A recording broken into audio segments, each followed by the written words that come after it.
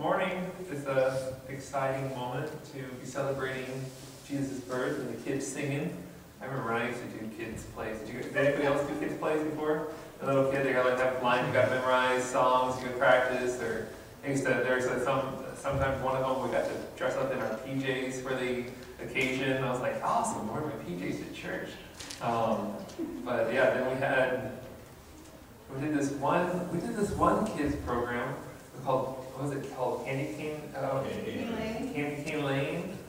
And then Dad got to dress up, Pastor got to dress up too. He was a big baby. that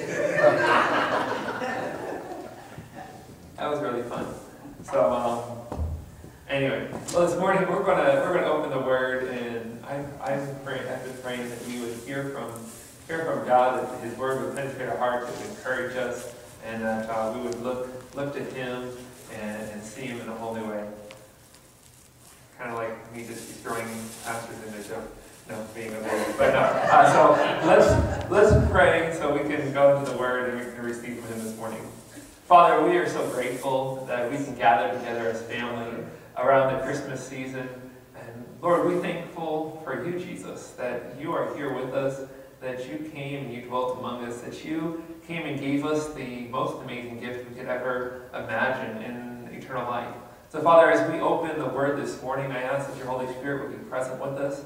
I ask that uh, you would come and to speak to us, that the Holy Spirit would be here to reveal truth. So, Father, I pray that we would all receive it, Lord, with open hearts. In Jesus' name, amen. Well, if you will, uh, turn with me to Matthew. We're going to be reading uh, Matthew chapter 1 today, and I think it's probably the least read portion of Scripture in uh, the Bible, probably because of all the hard pronunciation of these names. But I think to make a significant point this morning, I want to give it a shot, and uh, I would like you guys to read along with me. So we're in Matthew chapter 1, and we're going to start in verse 1. Um, Matthew, the writer of, of the book, uh, was writing this book to a specific audience. So when each person um, was writing their portion of the Bible, they always they always wrote it to a specific audience. Uh, they had somebody in mind. When we go through the later books like the book of Corinthians and Ephesians and other books, it's pretty specific. Okay, there's that city. Um, and then the Gospels here, Matthew, Matthew is talking specifically to the Jewish um, uh, Jewish people, and he's bringing out some significant points. Thus, why he started with a genealogy. So let's read this together, starting in verse 1. This is the genealogy of Jesus, the Messiah, the son of David, the son of Abraham. Abraham was the father of Isaac, and Isaac the father of Jacob, Jacob the father of Judah and his brothers, Judah the father of Perez and Zerah, whose mother was Tamar. Perez the father of Hezron the father of Ram, Ram the father of Amminadab, Amminadab the father of Nahshon, Nahshon the father of Solomon, Solomon father of Boaz, whose mother was Rahab. That's a really significant portion. We're not going to get to that story, but even the fact that Rahab is in there is really significant.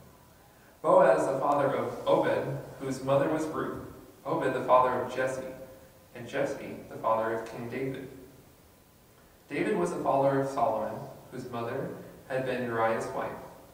Solomon the father of Rehoboam, and Rehoboam the father of Abijah.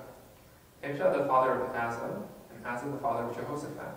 Jehoshaphat the father of Jehoram, Jehoram the father of Uriah. Uzziah the father of Jotham, and Jotham the father of Ahaz. Ahaz the father of Hezekiah, Hezekiah the father of Manasseh. Manasseh the father of Amon, and Amon the father of Josiah, and Josiah the father of Rephaniah, and his brothers at the time of the exile to Babylon.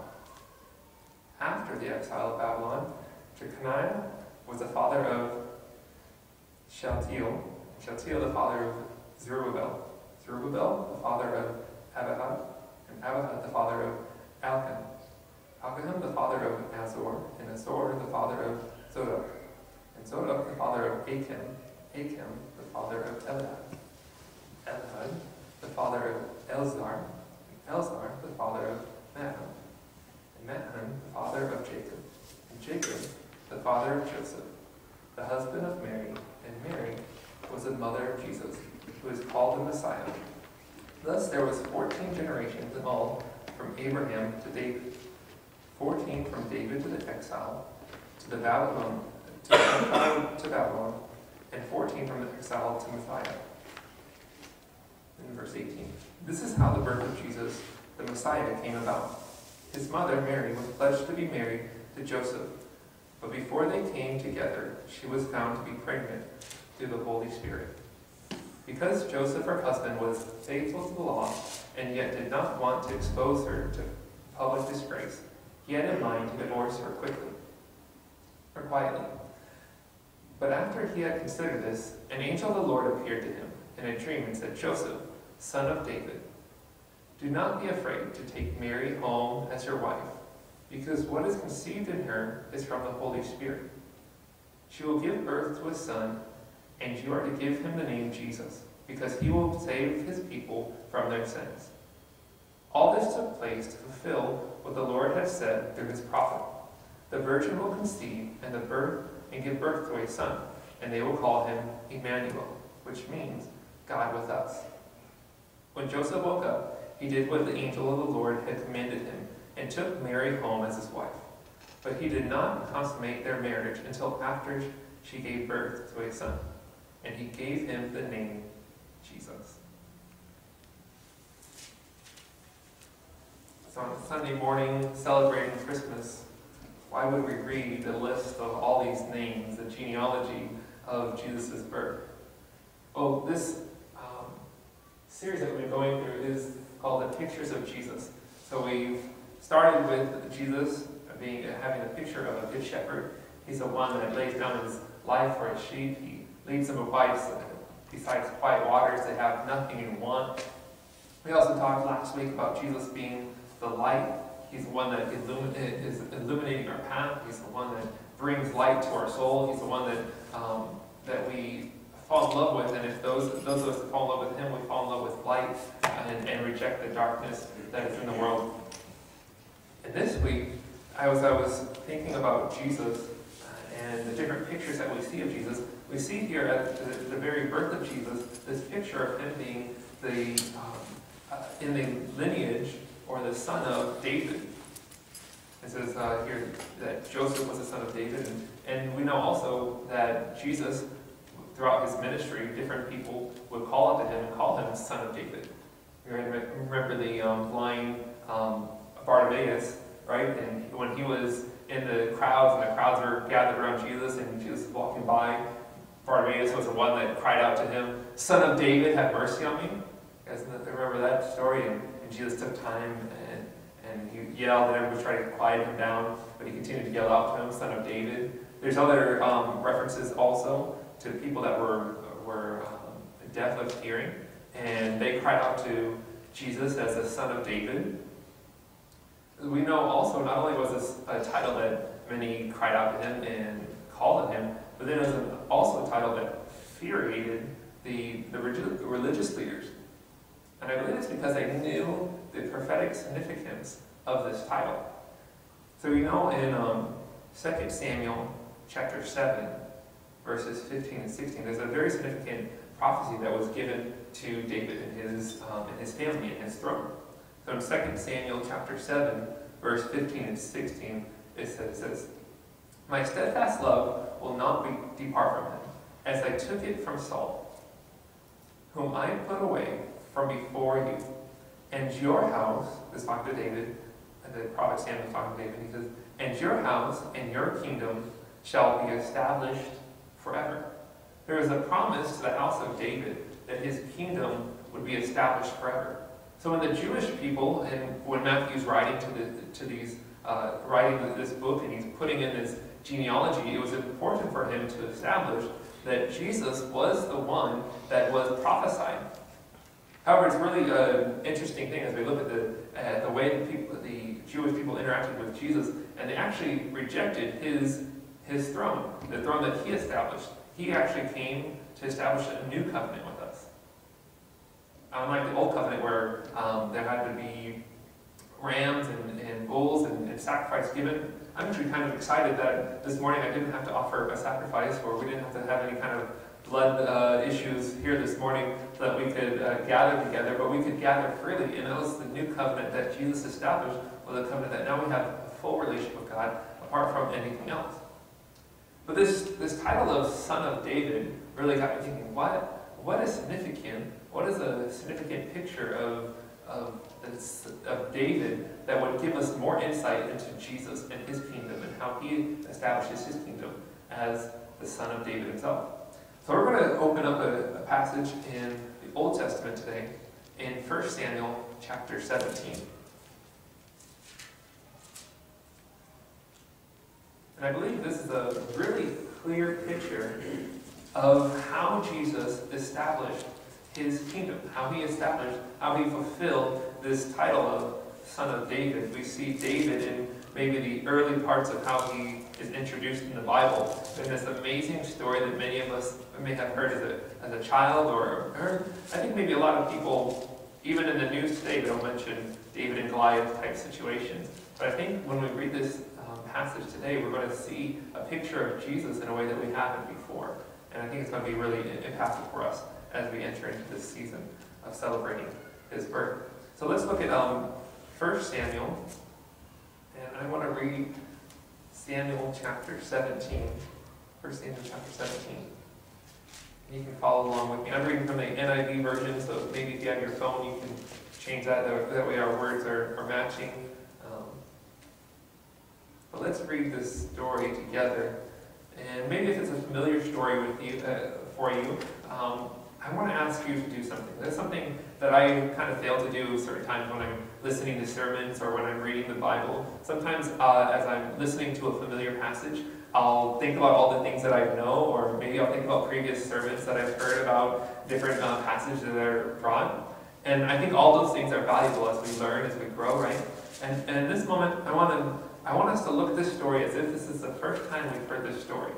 Because sometimes we come with like preconceived ideas, things that we've heard, and say, okay, this is going to be the first time I'm. Uh, while I'm reading, I, have just been praying this week that when I read this story, that people will enter into like a venture. I, I talked about a, a, while ago my kind of Barney imaginary um, uh, imagination that I was able to have. Let's let's kind of enter into that kind of phase of let's let's picture ourselves here, hearing this story for the first time, imagining the picture of the whole war going on, uh, all is a new thing this morning. So let's read uh, 1 Samuel chapter 17. Now the Philistines gathered their forces for war and assembled at Sokoh in Judah. They pitched their camp at Ephes, Dammim, between the and Azekah. Saul and his Israelites assembled and camped in the valley of Elah and drew up their battle lines to meet the Philistines. The Philistines occupied one hill, and the Israelites another, with the valley between them. See a big battle scene in my mind. One hill has a big army, another hill, an army, big green valley in between them. Maybe some dust. A champion named Goliath, who was from Gath, came out to the Philistines. His height was six cubits and a, and a span. He had a bronze helmet, and his head wore a coat of scale of armor of bronze weighing 5,000 shekels. On his legs he wore bronze greaves, and bronze javelin was slung on his back. His spear shaft was like a waver's rod, and his iron point weighed 600 shekels. His shield bearer went ahead of him. Goliath stood and shouted to the ranks of the Israelites, Why do you come out and line up for battle? Am I not a Philistine, and are you not the servants of Saul? Choose a man and have him come down to me. If he is able to fight and kill me, he will become your subject. Or we will become your subjects. But if I overcome him and kill him, you will become our subjects and serve us. Then the Philistine said, This day I defy the armies of Israel. Give me a man and let us fight each other. On hearing this, the Philistine's words, Saul and all the Israelites were dismayed and terrified. I think I might be in that number. pretty terrified. A big giant comes out, huge armor, and says, "Hey, if you if you can defeat me, I'm only five six. I, I used to play basketball a little bit. Being five six, I've I've uh, run into the situation playing against people that are a foot or more taller than me. Or yesterday, I hung out with Christopher, and he reminded me how big he was compared to me. But this moment, the Israelites here are terrified at this giant. They, they don't have a man that can face this giant. Verse 12. Now David was a son of an Ephraite named Jesse, who was from Bethlehem in Judea, or Ju- Judah. Jesse had eight sons, and in Saul's time he was very old. Jesse's three oldest sons had followed Saul to war. The firstborn was Eliab, the second Abinadab, and the third Shema. David was the youngest. The three oldest followed Saul, but David went back and forth from Saul to tend to his father's sheep at Bethlehem. For forty days the Philistine came forward every morning and evening and took his stand. Now Jesse said to his son David, Take this ephah of roasted grain and those ten loaves of bread from your brothers, and hurry to their camp. Take along these ten cheeses to the commander to their unit. See how your brothers are, and bring back some assurance from them. They are with Saul and all the men of Israel in the valley of Elah, fighting against the Philistines. Early in the morning, David left the flock in, care, to, in the care of a shepherd, loaded up and set out as Jesse had directed. He reached the camp, and as the army was going out to its battle position, shouting the war cry, Israel and the Philistines were drawing up their lines facing each other. David left his things with the keeper of supplies, ran to the battle lines, and asked his brother how they were. As he was talking with them, Goliath, the Philistine, champion of, from God, stepped out from his lines and shouted his usual defiance, and David heard it. Whenever the Israelites saw the man, they all fled from him in great fear. Now the Israelites had been saying, Do you see how this man keeps coming down? He comes out to defy Israel. The king will give great wealth to the man who kills him. He will also give him his daughter in marriage, and will exempt his family from taxes in Israel. David asked the men standing near him, What will be done for the man who kills the Philistine and removes this disgrace from Israel? Who is this uncircumcised Philistine that he should defy the armies of the living God? I love this demonstration of, of David kind of getting righteous anger. The fact that this Philistine, Goliath, is making fun of, defying the God of Israel. They repeated to him what they had been saying and told him, This is what will be done for the man who kills him.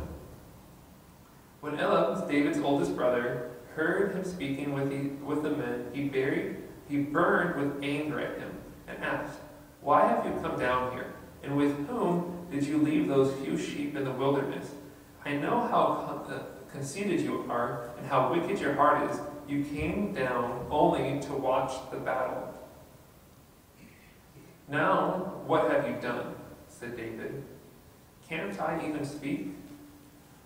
He then turned away to someone else and brought up the same matter, and the men answered him as before.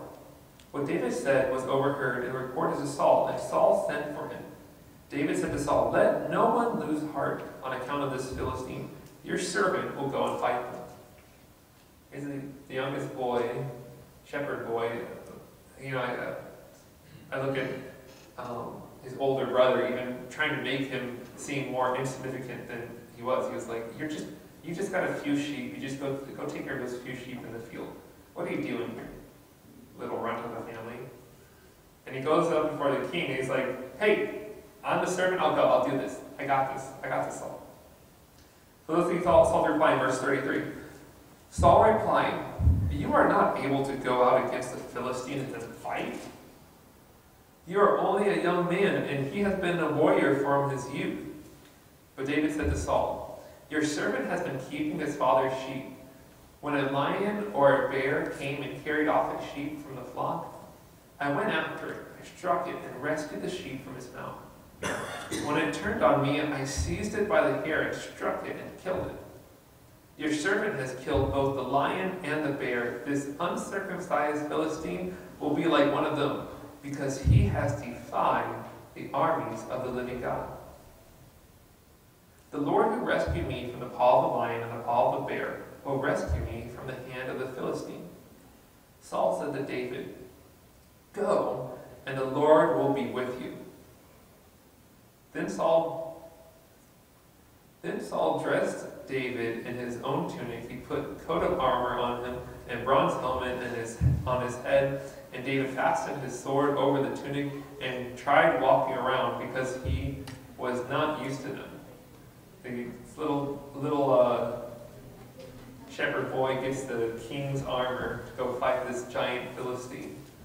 And again, this kind of funny picture popped up in my head. The moment before, Saul had just said, Go, and the Lord will be with you. And he said, Wait a second, let me add to you all these things. Wait a second, I mean, like, he's with you, but here's some protection, here's some armor, here's my thing. I want to make sure you're going to be okay, but the Lord will be with you. I don't know how many times you guys maybe have said that even to somebody, like encourage them, yeah, the Lord's with you, but wait a second, you got to do this, this, this, this, and here's some things to help you along the way. Let's see David's reaction. He says in, um, in the rest of 39, I cannot go in these, he said to Saul, because I am not used to them. So he took them off. Then he took his staff in his hand, chose five smooth stones from the stream, put them in his pouch and his shepherd's bag, and with his sling in his hand he approached the Philistine. Meanwhile, the Philistine, with his shield bearer in front of him, kept coming closer to David. He looked David over and saw that he was a little more than a boy, glowing with a health, with glowing with health and handsome, and he despised him. He said to David, Am I a dog that you could come with me with sticks? And the Philistine cursed David by his gods. Come here, he said, and I'll give your flesh to the birds and the wild animals. David said to the Philistine, You come against me with swords and spear and a javelin, but I come against you in the name of the Lord Almighty, the God of the armies of Israel, whom you have defied. This day the Lord will deliver you into my hands, and will strike you down and cut your head. I will cut your head off. This very day I will give your carcass of the Philistine army to the birds and the wild animals, and the whole world will know that there is a God in Israel. All those gathered here will know that it is not by sword or spear that the Lord saves, for the battle is the Lord's, and he will give all of you into our hands. Verse 47 again.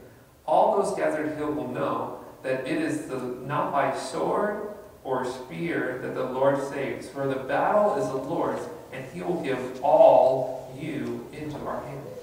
As the Philistines moved closer to the attack, David ran quickly forward to the battle line to meet him.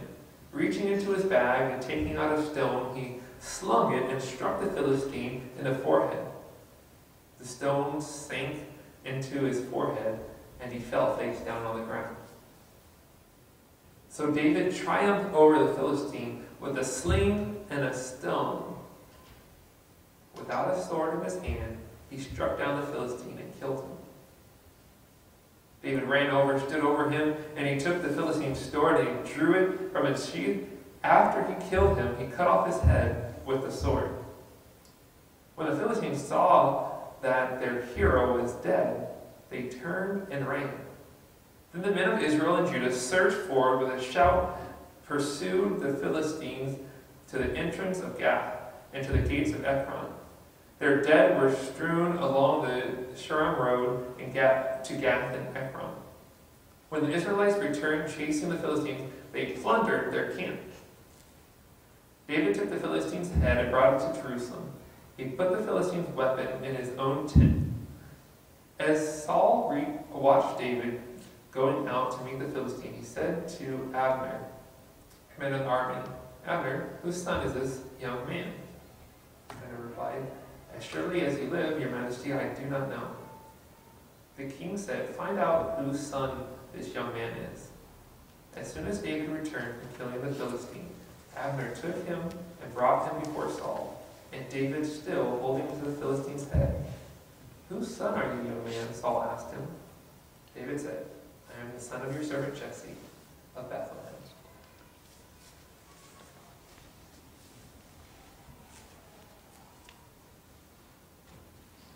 I love the story of David and Goliath. I think many times I read this story or I've heard sermons or I've meditated on this. And so many times I view myself as this little uh, shepherd boy, this insignificant guy who's going to go out and defeat this giant that's going to face uh, that I'm facing. And I sometimes uh, I've even encouraged myself in this manner to think that, to think that there's there's um, there's huge things in my life that are coming against me, and all I need to do is pick up these small insignificant stones and sling them at the giant and stand in faith and victory will be mine. But I love this story even more so now as I've been meditating on seeing Jesus in this story. That Jesus is the son of David, that he is the one that is establishing the kingdom of, of, of David. He's establishing the throne again in his, in his birth and his life and his resurrection. So what is this, why is this, how is this story so significant? How does this story compare to Jesus? How does it give us a better picture, a better view of Jesus, our Lord and our Savior this morning? The one who was born in a manger. I think one of the parallels that I saw while I was uh, reading the story is the, the humble beginning. For me, it's a really significant thing to know that Jesus, fully God, fully man, was born in one of the most lowly places in Jerusalem, in Bethlehem, in a manger. And when I was, uh, it wasn't until recently where I, I learned that a major uh, we had uh, at Purdue University, we have a lot of vet schools. They have a, a good a vet program, so we had some vet students that were involved in Chi Alpha, and they were telling us uh, what a major really is. And I was like, you know, I, I, I view that, I'm like, okay, that's, that's the little manger scene. But the manger was actually the place in which Jesus was put, which was actually like a feeding trough. So Jesus, King of the universe, the God-man, the one that sits at the right hand of God, the one that, that was there when everything was spoken into existence, the Word of God himself was born in the most humble position ever as a baby in a manger, in a feeding trough for animals, because there was no place for him in the inn. Now, when I think about Jesus, I always think, I'm like, man, Jesus, you know, you could have came as like fully man, like 30 years old, just popped out of nowhere, and just like all the miracles and everything could have been made for you. You, you just, I mean, show up as God, like put put rockets in the sky, shoot off some fireworks, tell everybody in the world you're God, like come worship me. But Jesus was uh, uh, came in a complete opposite way, completely humble, humbles himself, everything, didn't consider equality with God something to be grasped. But he came as a baby, a humble state. And I look at, at David, well, I bring up these points where his, his brother, his older brother, is telling him, hey, David, you're, you're just, just go take care of those few sheep that you have out in the field. David is the youngest son. David, the guy that comes before King Saul, never worn armor before. He's like, all right, I, I mean, I killed a lion, I killed a bear. I mean, this Philistine guy, he's no big deal. I'm just, I'm just going to go do my thing completely humble beginnings. The start of his establishing, for David, the, his kingdom was one where the where the, the, kingdom was at its largest when, when King David was at his at his um, at his throne at the pinnacle of his his rule. And so here he starts though not at the pinnacle where everything is amazing, but he starts just as a, a simple shepherd boy taking care of the sheep. He comes before the Goliath, the one that's about to, is going to defy, the one that has all of the, the champion. Uh, he's the one that actually hails his, that he's a champion, uh, Saul says, right? He's been a warrior since his youth. His humble beginnings. The second, the second thing I notice about these, this parallel is that David was not what was expected. Right? So he came, it says, with a sling and a sword, not a, a sling instead of a sword. Saul tried to give him his armor, but he said he rejected it. This is the biggest thing when we think about Jesus also. How did Jesus establish his kingdom? Was it with a sword, or was it with armor? Was it with conquering? Was it with overthrowing the Roman Empire as, as they were expecting him to? So the Messiah, the, re- the main reason why they rejected him as Messiah, because he didn't come in the form that he, they wanted him to. He came with a cross. He came humbled. He came beaten, struck down. So when I look at this story in, in 1 Samuel uh, 17, there's another really significant moment that is in this. Like I mentioned so many times, I've identified myself and I've tried to encourage myself, I'm the David. I'm going to run out to the battle with a, with a sling and a stone. I'm going to slay the giants that come before me. And some of, some of us, I know in situations that we're going through, there's, there's can be um, there can be um, metaphorical giants that are that we're facing, different situations in our life, different hardships that we're facing. But when I think about this story, I think that I identify with a totally different character than David. And maybe some people in this room are also identifying with a totally different character than David.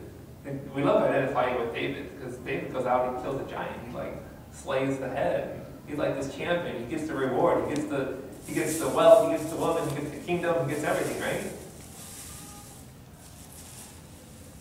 Let's be honest. Sometimes in life situations, we're actually not in the position of David, this brave, ah, God's got my back, I'm going to do this. We actually find ourselves in the position of the Israelites. Oh, Israelites. Let's look at them for a moment. So here's the Israelites, the people of God, that have seen God come through in battle before. They, they have watched Him provide for them. They, they're there's amazing people who, who have seen the provision of God in their lives, has, has seen all these things. And then in this moment, they face Goliath, this champion.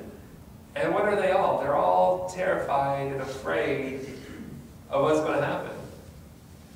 And I find myself sometimes in that, that situation. I, I'm, got something going on in my life, or, or things coming at me, and though I can look back and say, okay, God has done these things, He's with me, He's, I've seen Him move in my life, and all of a sudden the next, the next thing comes up, right?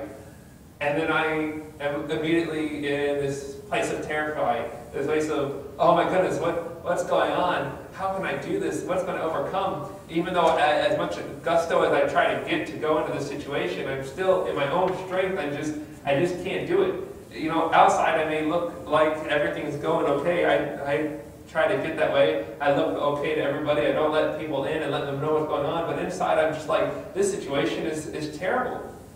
Or I'm on the other side of things, I'm like, okay, I'm going to try to do do it on my own, and I won't let anybody else know what's going on, my weaknesses and the things, the giants that are in my land, because hey, uh, I don't want to look like like things are going on. So the Israelites here, this moment, are really more what I look like. This is where I think when I start to understand, I'm actually in the in the point of the Israelites that that David and Jesus being the son of David began to look so much more glorious. Because it demonstrates for me what Jesus did in my life in this one simple story. Jesus from a humble beginning, born of a virgin, laid in a manger. I said in uh, the last verse in Matthew chapter 1 that he grew in wisdom and strength. Goes to the point of dying on the cross, putting his life for my place, establishing a new covenant with me, and then giving me all of his kingdom, all of his riches, putting us in a position in the kingdom where we are now sons and daughters of the Most High God. Now look at this David. When he goes up against this giant, he takes just a sling and a stone and he hits him right in the forehead. Then the people of Israel rejoice. They're like, oh, awesome, we got the, the, the champion's dead. But then what, what happens after that? And there's this one verse I, I underlined in my Bible. In verse 53, 1 Samuel chapter 17, verse 53, right after the, the champion had died, the Philistine champion died, David kills him, cuts off his head. The, the Philistines now are afraid if this little shepherd boy can beat our champion, what can the rest of the army do? And they start running, the Israelites start going after them. In verse 53, when the Israelites returned from chasing the Philistines, they plundered their camp. How would that encourage I, I see Jesus do the same thing for me and for you. We're celebrating the Christmas season, a season of, of giving, a season of receiving. Jesus, the picture of him as the son of David, is this one that he went from humble beginnings to champion of the world when he went on the cross and he rose again for our life and giving us eternal life, giving us gifts and giving us position that we never deserve or never earn.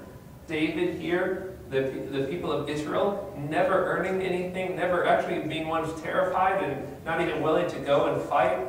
In one moment to the next moment, seeing David slay the giant and them now receiving the plunders of all the land. It's a parallel here. That when it comes to Jesus as the son of David, we receive what we don't deserve and never earn. It's an amazing moment when we receive what we never earned and never deserved. But Jesus, the son of David, establishes himself as king. He has everything and He gives us everything.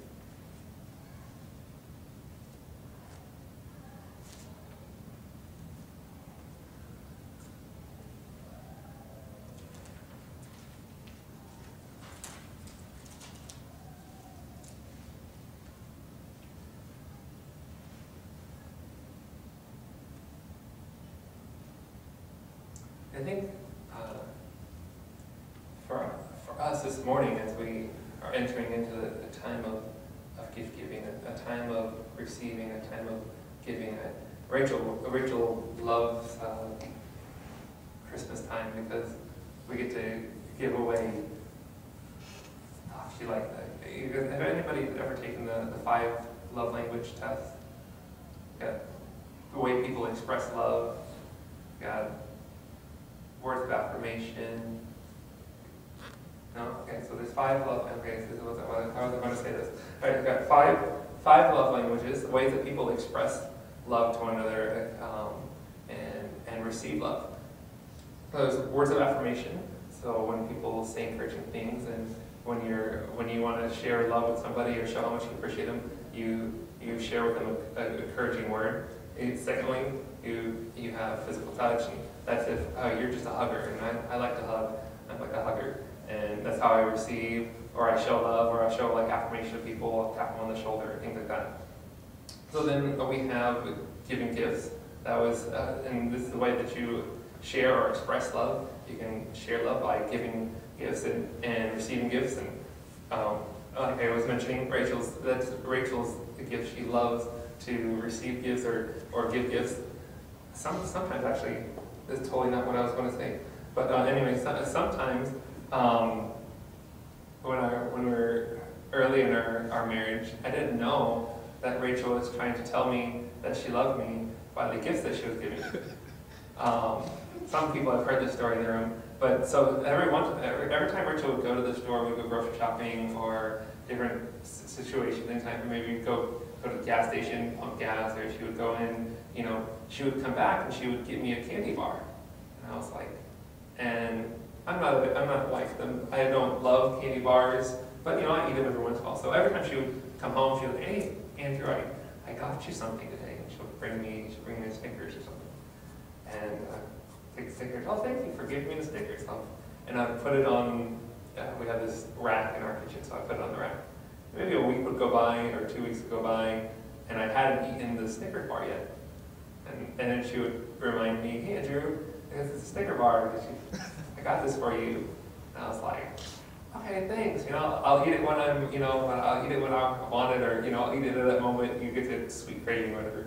And um, she do this all the time. And then eventually we read this book. It's called Five Love Languages. And we're like, oh, I was like, I don't know, have one of those moments you finally figure out things, you know? I don't know. Sometimes for me, I'm a little slower than something.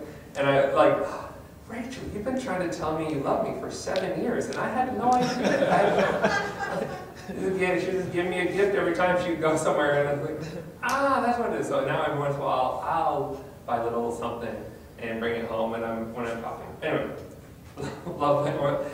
Where to go? Love languages, giving gifts. What are the other two? Uh, there's um, acts of acts of service. Uh, so when so if you're telling somebody you love them or you you want to tell somebody you love them, you're, you're doing something for them. So I tend to be that way. I'll clean up the house and I'll be like, hey Rachel, look at the house. It's so wonderful, you know. And that's my way of saying, hey, I love you. I'm doing this for you, or or doing these little little tasks. And she's like, well, I don't receive love that way. So I gotta learn. I gotta learn how to love Rachel and her love language. She gets to learn how to how to love me in that way. And there's one last one. Time. Quality quality time. I just want to sit next to you and I don't care what we do, we just want to want to be together. I like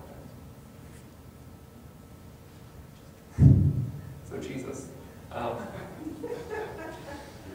right, real, Jesus gives a kiss.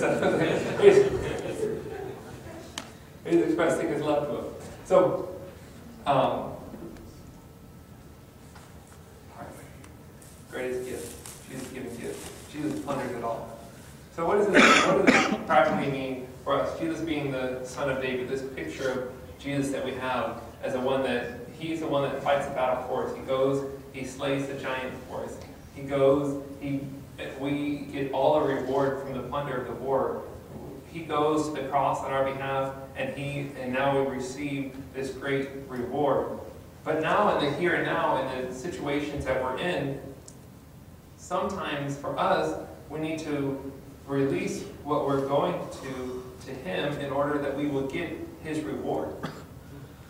So we know this morning we can celebrate the birth of this of Jesus. We can celebrate the salvation of Jesus. But as, as we're experiencing it now in the everyday, how does this picture of Jesus encourage me in my situation today?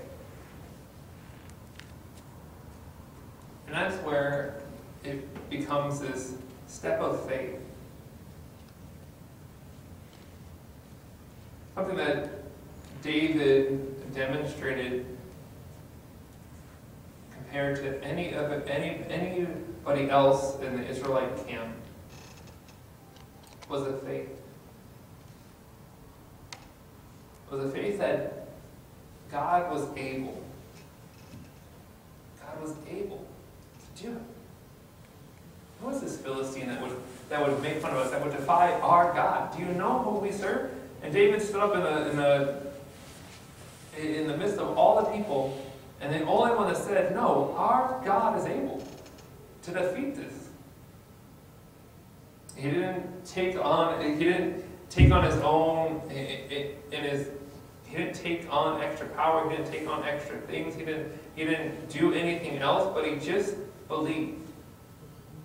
Some people, when they would preach about the David and Goliath, they would talk about the significance of the, the smooth stones and they and what they represent. They would talk about the sling and, and how and, and how that would represent different different prayers or or different ways to pray. But I believe with all my heart what the the power that David demonstrated that day was that he believed in God and he didn't uh, take matters in his own hands, just try to create anything extra. He just knew all I need is to be myself, and God is going to take care of the rest. He didn't take on anything extra. I'm going to be myself, and God's going to take care of the rest. I don't need anything extra. I don't need the armor of, of Saul. I don't, I don't need to be trained. I don't need to go after it. I don't, I don't need that. All I need to know is that God's got my back. I'm going to go through this. It's the same faith that Jesus demonstrated when he went to the cross to finish his task. The moment in the garden is a super real moment. I mean, like, I, you know, we never know, we don't know the, the day of the time that our life will end, right? But Jesus was one that he knew what was prophesied. He knew what he was entering into. He knew the betrayal that was about to happen. He knew this moment, but in that moment, he prays a prayer that he says, Lord, not my will, but your will be done. In that prayer is an extreme, is an extreme example of, again, faith in the Father, faith in God. It's out of my control. This situation, situations in life. I just watched a, I watched this YouTube video, this vlog of somebody, and yesterday he visited his friend in the hospital in the vlog, and um, his his friend has cancer, and he's going wrestling through this thing. You know, like there's there's certain things in life we we can't control. And there's certain things we can do as far as health goes to, to improve our health, but we, there's certain things we just we can't control what will happen. We can't always control certain job situations. We can't always con control what health situations we're in. We can't always control life things that happen.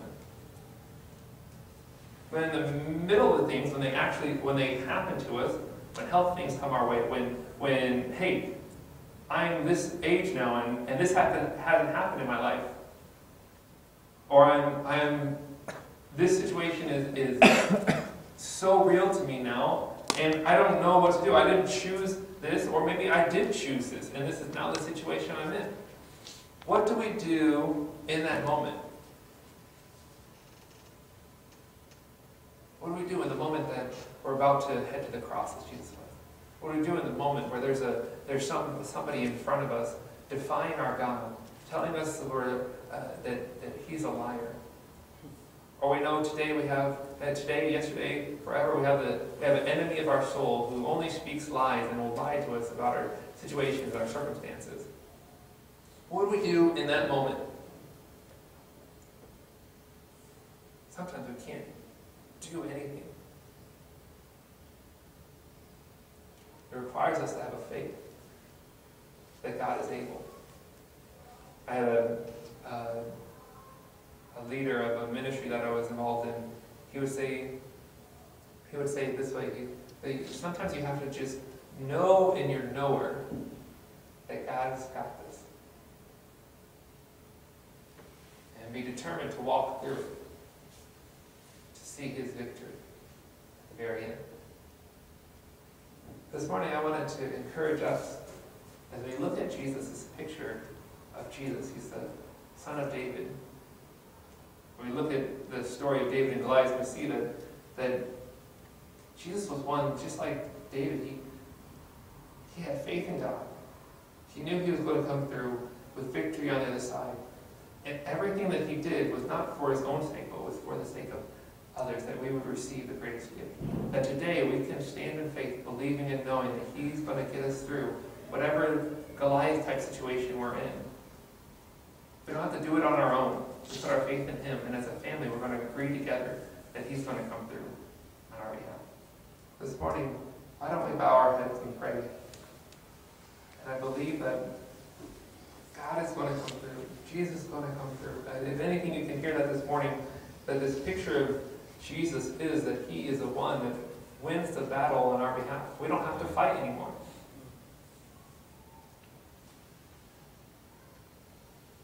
He'll fight for us. And we'll get the reward. Let's pray.